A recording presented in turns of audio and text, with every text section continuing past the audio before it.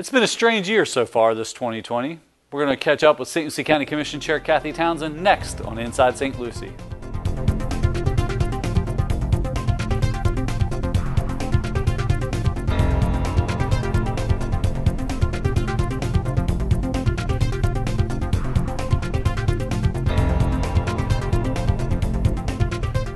Welcome to Inside St. Lucie, SLC TV's monthly government affairs show. I'm your host, Erick Gill, Communications Division Director for St. Lucie County. And on today's show, we're going to sit down and catch up with St. Lucie County Commission Chair Cathy Townsend. But before we meet our guest, here's some upcoming events and announcements from the Board of County Commissioners. St. Lucie County has opened four of its six branch libraries for walk in visitors. The Lakewood Park Branch, Morningside Branch, Susan Broom Kilmer Branch, and the Paula A. Lewis Branch Library are now open Tuesday through Thursday from 10 a.m. to 5:30 p.m. and Friday and Saturday from 10 a.m. to 5 p.m.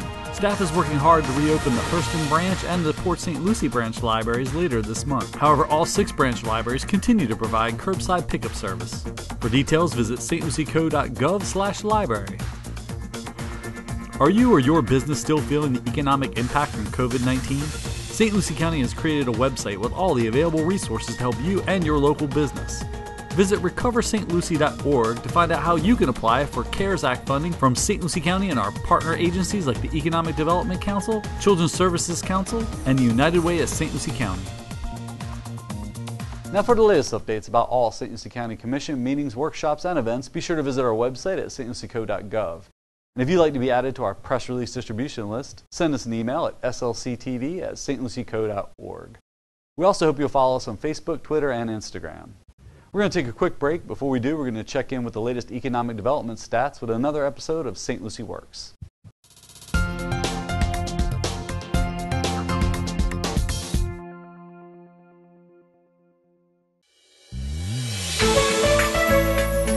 COVID 19 pandemic continues to impact tourism. Bed tax revenue in June dropped by 22% compared to 2019. Overall building activity increased by 22% in June compared to May, with 1,141 permits issued. Revenue for that same time increased by 33%, generating more than $312,000. Along with new construction, the housing market continues to fight off the pandemic. According to the Florida Realtors Association, the median home sale price in St. Lucie County in June was $244,900, up 4.2% from last year, while condo values slipped slightly by nearly 1.7%, with the median price at $172,450. St. Lucie's unemployment rate dropped in June to 10% compared to May's 13.8%. Statewide, the unemployment rate was 9.4%. Because of COVID 19, the Treasure Coast had a decrease of 3,400 jobs, or 6.3% over the past year. The biggest impacts were to the leisure and hospitality industry, with 1,300 less jobs, trade, transportation and utilities, other services, and government agencies with 400 less jobs in each sector. If you work for a local business looking for skilled or trained labor, be sure to contact the staff at Career Sources. They can assist your company with its recruitment and training needs. And they now have CARES Act funding available to help you with on the job training. If you're an individual looking for work, they can help you as well. Visit the Career Source online at careersourcerc.com or call 1 866 4 u 2 hire. Back to Inside St. Lucie. I'm your host, Erick Gill, and I'm joined by St. Lucie County Commission Chair Cathy Townsend. Commissioner, thank you for joining me. Good afternoon. I'd shake your hand. but We're keeping I- it we the have to six have foot distance. dis- yes, we we took do. our masks off, so we're keeping the distance in place, which it seems to be having an effect. The numbers are going down. Yep, At I least in the right. di- Now the schools are open back up. By the time this ends airs, we may see another spike or so, like Martin County did. But um, it seems to be things are going well, and people are complying, and, and businesses are starting to reopen. Um, well, some are starting to reopen, some are not. The sad thing is that three out of 10 in the uh, restaurant industry are not reopening. Some of those have not been able to, even with the grant funding and the available funds. However, the county does have our CARES Act out there to help the businesses, the recovery, stlucie.org. So that's a good thing. If you're a business, make sure you use email and go on that website. That's Yeah. very important. And it is more than just businesses. Now we're offering uh, uh, funding to nonprofits Right. and religious organizations as well as individuals. Right. Which the individual assistance was the first we rolled out. You know, over 3,000 applications I think in the first few weeks. So Yeah, so it's, it's good that there is some funds available out there to start, you know, helping people, but, um, you know, the freestanding bars aren't open yet. Um, I know I recently just took a little trip for a couple days south with my family, and it's just as devastating to the south as it is here. I think actually when I came back, um, I'm, I'm proud to say that I think we're doing it right in St. Lucie County. Yeah. Everything that I witnessed where we went, uh, it was a lot more grave than I think we have going on here in St. Lucie County. St. Lucie County, when I go out there and I talk to the businesses, they have figured it out. They know what works for them. Each individual restaurant is doing it differently. They're not all doing it the same. You know, like the city of Fort Pierce has added the outside dining. Some of the beach places have done that. So I think I do think that our restaurants um, are doing much stronger here in St. Lucie County than they are to the south. Yeah, and it, and, it, and you mentioned that too, like the restaurants and the bars, Mm-hmm. and a lot of those um, requirements weren't us. You know, it wasn't St. Lucie County that No. shut down the bars It was or the the craft state. breweries. It was the state. Exactly. Yeah, It was, so- and, and that's the thing. You know, there's a lot of confusion. There's so much going on with COVID. Like I just came from the tourism uh, meeting, and even with that, there were some restaurant owners in there, and there was just so much miscommunication, and you don't really know what to believe. And I've had a lot of people actually reach out in the last two weeks over just the mask ordinance. They don't understand that. You know, when Mr. Tipton put that in, that does go every 30 days, 30 days, 30 days. But when the board decided to make it an ordinance. and they said in the ordinance that it was in effect until the governor released us from the state of the emergency, it wiped out what Mr. Tipton Sure. had done. And so then, now what's in effect is the mask mandate's in effect until the governor removes us from under the state of the emergency. Yeah. So, you know, it's still, it's just an education process and letting everybody understand where we are. And, you know, you explain it, they understand. And for the most part, I think everybody's comprehending. I think there was a lot of anxiety in the beginning, you know, businesses thought they were going to be closed down if they didn't like a mandate you have on a mask. And they didn't understand the medical exemptions and the church exemptions. And you know there were some changes midstream for gyms. So there's a lot of moving parts to all this but i do think that we have figured it out pretty well here. Like i said i um, it, it was an educational purpose for me to be gone for a couple of days with my family to see because Yeah. i went through four counties oh wow. and um, I have to say, I'm really, really proud of what we've done here. And it was Yeah. nice to come home. I mean, not one time did I have a good meal. My lodging was not nice. Really? And I, when I came back, I was like, we really do live in paradise. Yeah. And when first time we, we got back, we went to Pineapple Joe's and had dinner. Yeah. I mean, you know, we have great food. We have great people that own the little mama pops. We've got the charm. Yeah. We have it all. This really is our paradise. Yeah, that's my first. We I did not get out of. I don't think I left the county this whole summer. um, we were supposed to do a road trip to Michigan for my nephew's wedding, and it got scaled back, and and my family was a little nervous about you know driving, you know, with me in, in the car and stopping everything, you know. Yeah, We- so no, we ended up not cancel, you know. But we have done some Friday. I've been taking Fridays off, and we've gone snorkeling at state park, or you know, I've Mm-hmm. been trying to. And there, you know, well, that's what I did. I haven't had a vacation in four years. Yeah. And so my uh, son's birthday was the 19th. And so we decided that we were going to take a little trip, and my 10 year old grandson made his first dive, caught his first lobster, and Nice. it was, it was a memory. You know, Yeah, it was yeah. something, even though the lodging wasn't the best and the food wasn't the best, um, my, it's a memory. Yeah. That I get to cherish for the rest of my life with my grandson. I mean, so this- this- it's all good. There's always something wonderful in everything that you do. Yeah, this is the first mini season in like 14 years. I actually didn't get out and dive. My in St. Lucie husband went and didn't. They got two lobsters. Like that was so But the shocking. visibility was great. I year, know it was so- visibility's there, but the lobsters just weren't. Yeah, that happens. It's, just, it's secular. But you mentioned tourism, and I wanted to ask because I know we've had a lot of baseball tournaments the last couple weeks. We have. um, which This- is good for you know the economy there. The Sports Commission is doing really well with that. And what they've done is they've went out and done things just really unique. What they've done is they've removed some of the bleachers and they're letting the families come in and put up their own tents. And they're saying you stick together with your family and bring your little fold out chair in your tent, Mm-hmm. get out of the shade. And so it's worked. And that they're finding that the families actually really like that better than the stands. Nice. So that might be one of the new norms too coming up. Sure. Because they're really liking that because they're able to spread out. And if you're going to do any sport, what one could there be any better? I mean, baseball. You've got Yeah. the field all the way around to be able to sit up here and little thing. Well, golf. but you know, even the golfing industry has done that. They're Yeah. going to put the shields in between the riders on the golf Yeah. carts to be able to do that. So people are really thinking outside the box. And they're being creative with how things can continue on. Yeah, yeah.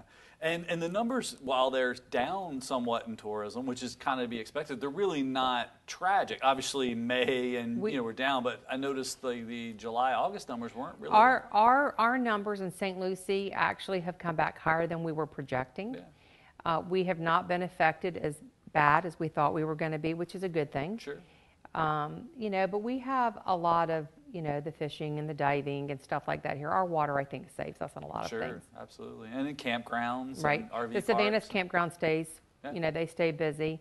You know, we, we don't have enough sites there. We really need to really consider moving that forward and putting more sites in there and possibly doing some more sites out at our fairgrounds. Yeah, yeah, and then those uh, venues are starting to open back up. Uh, Mm-hmm. The fairgrounds is going to start hosting events again, and They are. We have um, the gun show coming in September. We have uh, a nonprofit that's doing the barn sale out at the fairgrounds in September.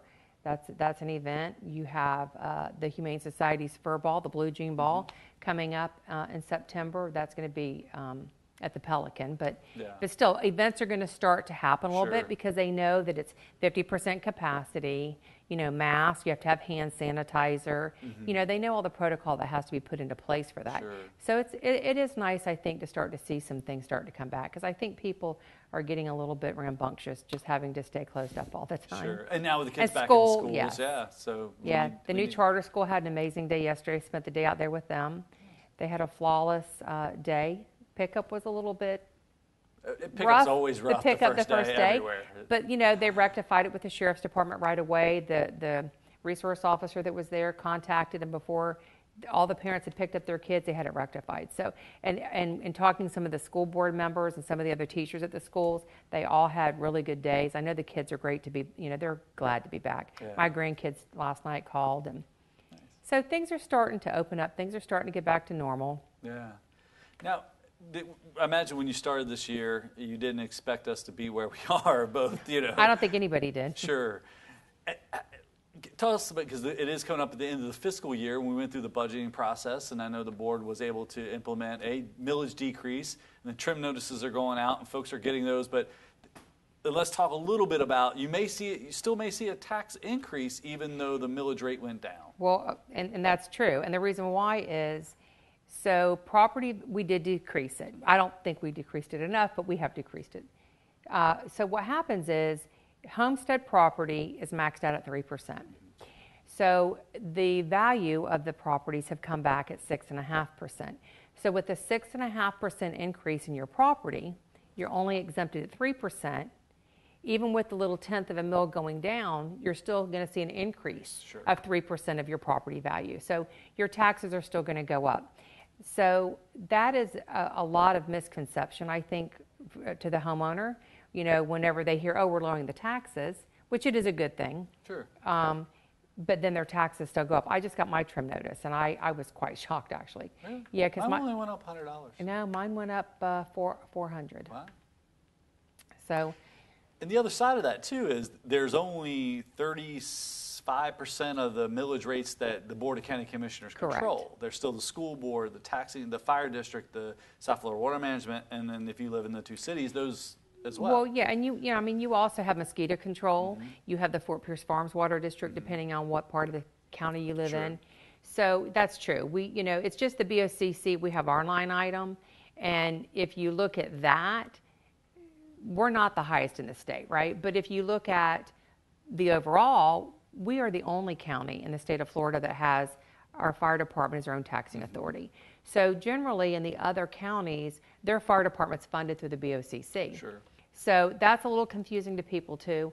So, you know, when you add school, when you add the half a cent sales tax, when you add the Fort Pierce Farm, South Florida Water Management, when you add all of those together collaboratively, we are the highest in the state.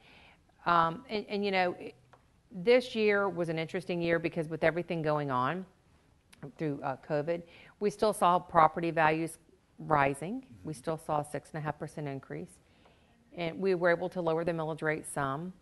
Uh, our our departments stood, you know, they didn't. They they were told you're not going to have any increases, right? I, I mean, did you get an increase in your department? Um, staffing wise, yes, but we just stole them from another department. Correct. so that's what I'm saying. We didn't really add a Sure. whole lot of services, Yeah. right? So we're still we're still operating the county with more residents and population here, Yeah. but still less staff than what we did back in 08, right? But, but, you know, the good thing in all of that too is we're not really doing a lot of employees physically now because we're able to do a lot more online. We're able to do a lot more from home. And so, you know, we're working smarter these days too. So what used to take five employees, you can do with two because you can do a lot of things online now, Yeah. which, you know, Which that's, uh, you know, just to, to be defensive and why we got the additional staff. Be, that, that's one of the things.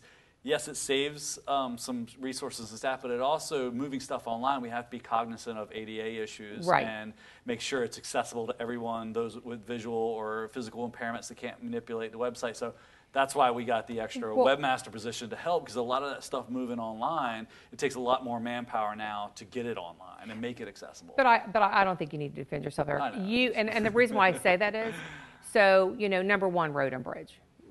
Far, that, our infrastructure is priority, right? Yes. Outside public safety. Yeah. I mean, there's nothing more important than our law and order, right? So this is a perfect example of why your department is needed because with all the moving parts of everything right now going on, you are the communications of the county. You have to monitor all the social media sites. You have to do all the public service announcements. You have to do all of our meetings. You televise everything. You have the multiple shows that you put on. They're all educational. Sure. Now we're in an election year. Yeah. You know, for the county to try to educate taxpayers Yeah. to be able to be informed, you've taken on the project of doing a candidate form to be able the profiles, which you know there's a lot that really happens in your department, and I'd say that outside road and bridge, you're probably the second most important department we have. Not that they're all Sure. not important, but but you know your department being in communications and education yeah. um, I, I don't think you can really put a value on your department simply because people depend on you. They depend on you to get them the information. The, like you said, the website. It's not just putting stuff up on a website. There's ADA compliance Sure, to that too. there's a lot of Blind, back-end hearing, stuff back in. that I don't Yeah. think the general public retention. understands. Yeah. Like you, I think you even assist with public records We sometimes, do. stuff Yeah, like we, that. All the public records come through Come- our office right. first. So, yeah. So that's what I'm saying. There's a lot for a small department with what you have for all that you do because you cover the entire county. Um, it- it's a lot. Well, I appreciate that. It Thank really you. is. Y'all do a great job. thank you. But yeah, but that, that has, and it's interesting because I did have a resident call, they got their trim notes, and they were upset about the school district rate going up. And, he- and he said, you know, well, they haven't been in school since March. Their, their funding should be down, and, or their, rev, their spending should be down. And I thought, well, yeah, they're saving on gas probably, but at the same mm-hmm. time, the students are getting laptops and you need computer assistance Right. and infrastructure, you know, so the money shifts, you know, even though, like you said, we may be saving on physical space, but now we're allocating those resources to better And, use. and it's yeah. education. You know, the other thing too is people don't understand that through the Board of County Commissioners, we don't regulate the The school. school board, and that's what we I have no say on that. That's a conversation to have with the school board. It's just like if you're in the city limits or St. Lucie Village, Yeah. we always want to leave them out. We don't need to leave them out. Sure. But, you know, they have their own board there too. So, you know, you have your county tax, but then if you're in the city or of the municipality of, of, of uh, St. Lucie Village, you have another tax on top of your county tax. Yeah. So I, really don't know what we can do to be able to educate more because I really do think like Michelle Franklin's office um, does a great job. I think that with what we do when we try to educate you, what you do, putting it out there, and you're very responsive. I see the responses that come out on social media. Um, I, I was a little bit disappointed because we were going to do those classes, you know, where people could come and get engaged The Citizens Academy? the Yeah. Citizens Academy, and then COVID hit. But you know, I, I admire the people that want to come to those classes and get involved in that because there's one lady that started that course. And She's actually reached out to me on Facebook a couple of oh, times, following it because what little bit she did learn before it stopped Yeah. was enough to trigger her to be able to still be involved with questions. Yeah. So, you know, it's too bad that we can't have more to a class and to be able to do more of those because I think they're going to be they're going to be full every single time we do Yeah, them. yeah. But it's a way for people to really educate themselves and get out there and really understand how government works because you know, there's just so much that goes into making a decision or into a department that the layperson out there doesn't understand. I mean, I will be honest. I mean, before I sat in this position that I'm blessed to sit in and serve, I had no idea, like our transportation. I thought that was a county thing. Yeah. I thought the county did it. It was the county ran it. The county Yeah. was in control, right? I didn't know it was an outside entity that did Sure. that. Just something as simple as that. So, and even learning. Now I knew that the school board governed and Sure, the sure. South Florida Water Management. I mean, I understood all of those, but it. I really don't know what the answer is to really get out there and be able to educate the people. And I'm always looking for it, you know, because No, you tough. are. There's always somebody that falls through the cracks. You know, they're not on social media. They're not on Facebook Right. or Twitter. Or They don't get a newspaper, They don't, they don't- get Comcast. So They don't get. Yeah. Com- you know what I mean? So how do you reach those people other than driving around with a megaphone? But you know, But you know, even the cities are doing a good job. The city of Port St. Lucie, they're doing their Citizens Academy. Yep.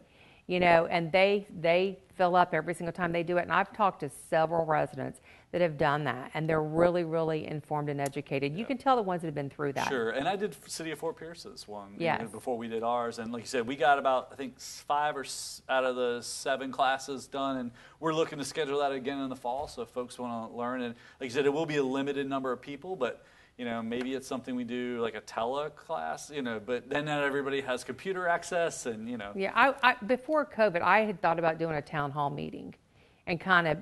I used to do this at the League of Women the- Voters. Well, you used to also do the library events. Too. right go talk right. to folks at the library. and so I, I had considered doing that letting people just come and ask questions but then you know covid hit and whatever and we're we're just in really difficult times right now but you know everybody keep the faith we're going to get through it god is good And then we, like you said, we're getting there, and there are there is funds available. The Recover website, uh, recoverstlucie.org. There's assistance available for individuals and businesses. Even something you know, as we talk about the economy picking back up, um, Career Source is actually doing now on-the-job training because there may be people who had a job and decided, well, I'd rather stay home and be with my kid to do virtual, you know, help them with the. So there may be employment opportunities opening up, but just don't have the skilled labor. And that was something I remember before the pandemic we'd hear all the time from A1 Truss and Phoenix Metal, some of the manufacturing companies out at the out at the airport, good paying jobs. They just don't have the people with the skill set to fill them. yeah well and you know I- think that once we continue to reopen because we are reopening more each day i think um, we've done a great job i think in the last three years with bringing in the workforce and bringing in uh, the trade schools we, we, we recognize that not everybody here, I would say the majority of the residents, especially you know in the city of Fort Pierce, they're not somebody that can afford to go to college, and nor do they want to go to college. And so we recognize that in creating the jobs and the manufacturing and doing the trade schools. You know, we had the partnership with Career Source, we had the partnership with the college to be able to give those young men and women jobs. And then, you know, working most recently with transportation to be able to get them back and forth to work and to implement some more bus stops to get them back to work so they can be successful and live the dream and go out there and not rent but own a home someday. So we were headed in all the right directions. And I know that we'll get back there. Yeah. I, I really do. I mean, everything is there, everything is in place, the stars are aligned. When we get through this, I think that we are going to come out on top stronger than most of the average counties in Florida because we were aligned to be there to begin with and we were almost there at the top.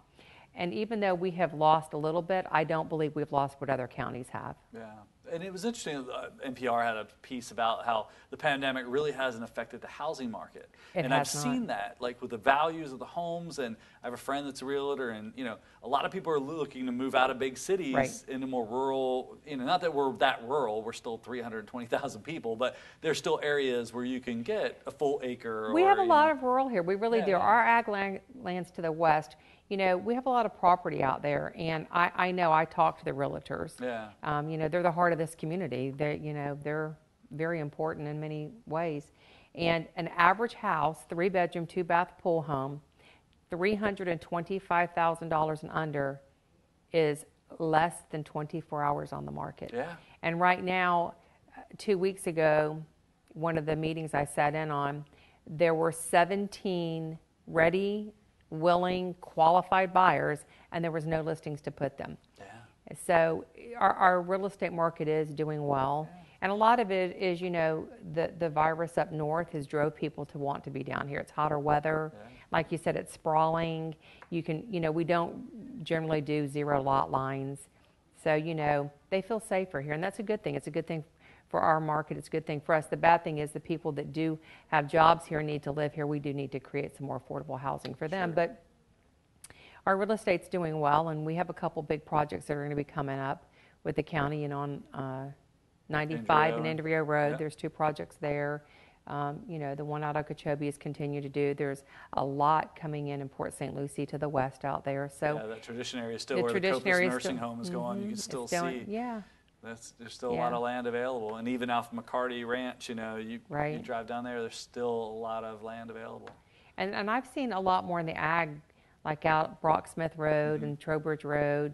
There's some growth coming in out there, um, in our rural areas out there, and families are relocating from the city out there because their kids are now teenagers and they want to do four wheelers and horses and stuff too. So you know that's part of the thing too. You know, as Commissioner Hutchinson brought up at our last meeting, even uh, you know with 4-H getting back to normal out there at the fairgrounds and everything. So you know, I, I don't want everybody to think it's all been dim and gloom because it No, hasn't. no. It really hasn't. And I think that there's been a lot of great things that have come from this too. You know, it's, it's brought our values, I think, back to where we've needed to be with our families and our loved ones and reconnecting with old friends. And, you know, I think realizing how we were allowing electronics to raise our children and the respect of a teacher, I think coming back to school now, 100% of the parents are going to see worth in a teacher.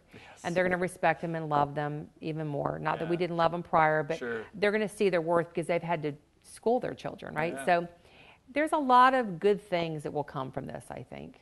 Absolutely. Well, anything else we didn't get to mention before we wrap up? i don't think so. I just want to say you know everybody be safe and just keep doing what you're doing. We're headed in the right direction. We're all better together and that's a good thing. Thanks for the, all the things that you do. Well, thank you. Don't go anywhere. We're going to take a quick break. Before we do, we're going to check in with another project update, checking out what, how we spent the St. Lucie County sales tax.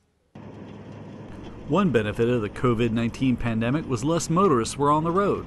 St. Lucie County's public works staff was able to capitalize on that by making significant progress on the long awaited resurfacing of Prima Vista Boulevard, which is now substantially completed as the contractor CWR Construction, formerly known as Mansell's Tractor Service, has finished the resurfacing from US 1 to Airoso Boulevard. Funded by the voter approved half cent sales tax ballot measure in 2018, this $3.3 million project included resurfacing, ADA accessibility improvements along the sidewalk, and drainage improvements such as removal and replacement of culverts. Additionally, an existing loop detection system for traffic signals was replaced with a video vehicle detection system. While this project was originally slated to begin in the summer of 2019, St. Lucie County's public works staff coordinated the timing of this project with the City of Port St. Lucie's opening of the new Crosstown Parkway Bridge to help alleviate traffic congestion since there are a limited number of east west corridors in that area. Once the Crosstown Parkway Bridge was open, St. Lucie County began working on Prima Vista Boulevard in October of 2019. Most of the repaving for this project occurred at night to help reduce traffic congestion. To find out more about St. Lucie County sales tax projects, visit slchalfcent.org. We hope you've enjoyed this edition of Inside St. Lucie, and we hope you'll tune in again next month. If you have topics or subjects you'd like to see covered here on the program relating to St. Lucie County, give us a call at 772 462 1791 or send us an email at pio at stlucieco.org. And if you'd like to see previously aired episodes of this or other SLC TV programs, visit our YouTube channel at youtube slash. I'm your host, Erick Gill, for myself and the staff. Thanks for watching.